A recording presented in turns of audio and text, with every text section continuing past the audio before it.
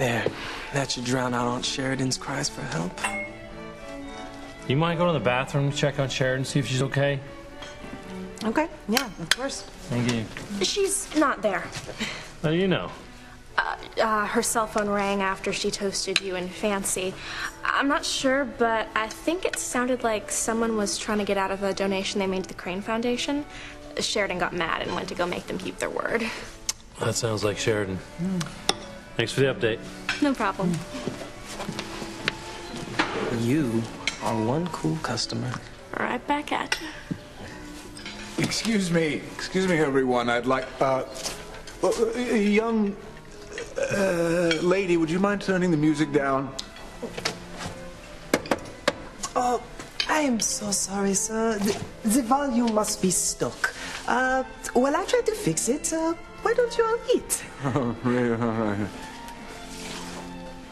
I'll make my toast after we finish eating.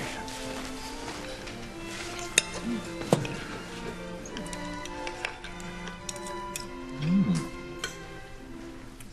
Mushroom sauce. Excellent.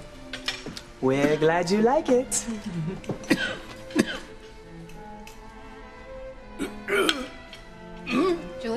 okay? No, Mommy. Daddy is dying.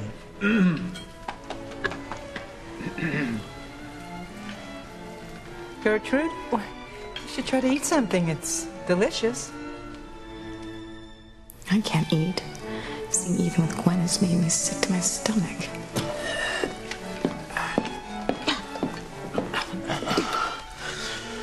So, what's happening? Our plan is working. And everyone is going to. It's true. My sweet niece Vicky is a serial killer. At least now you know the truth. Uh, I can get Vicky a good lawyer and the help she needs. That if we don't die when Harmony is destroyed. Yes, well, maybe when confronted by her sins, Vicky will repent.